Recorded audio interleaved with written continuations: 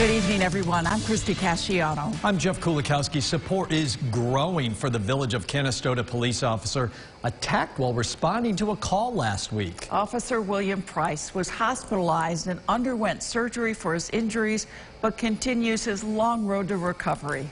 News Channel 9's Adrian Smith tonight shares how his community is lifting up. Sean Barton was only recently sworn in as the Canastota police chief, but he's worked alongside Officer William Price for years. Officer Price is a big teddy bear. I mean, he's always looking out for everyone else.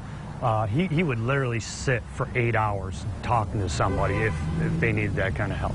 Helping is exactly what Officer Price was doing when he was attacked on duty, punched multiple times in the head and face, allegedly at the hands of a 25-year-old who police say was high on a hallucinogen. There's just no words. It's upsetting. You know, in, in the, I mean, we're the last line of defense for people. And to have someone just attack uh, one of us like that and, you know, and attack someone who was a friend for many years, it, it, it's very bothersome. But there's been an outpouring of support for Officer Price, including from the village's volunteer fire department. They serve our community.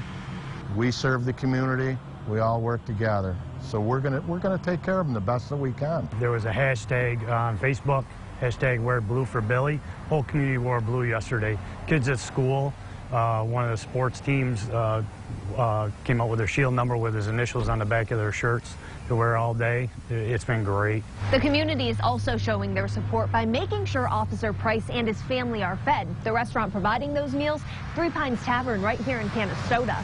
Just walking around town, everybody's always asking how he's doing, how are we doing? You know, what can they do to help us out? Support. Canastota strong. That's how it is. It's a small community. We all look out for one another. We all take care of one another. In Canastota, Adrian Smith, News Channel 9. Richard Branch Jr. is facing charges including assault of a police officer, robbery, and attempted assault with intent to cause injuries. The 25-year-old was scheduled to appear in court tomorrow. The village administrator says that's been canceled. No word yet on a new court date.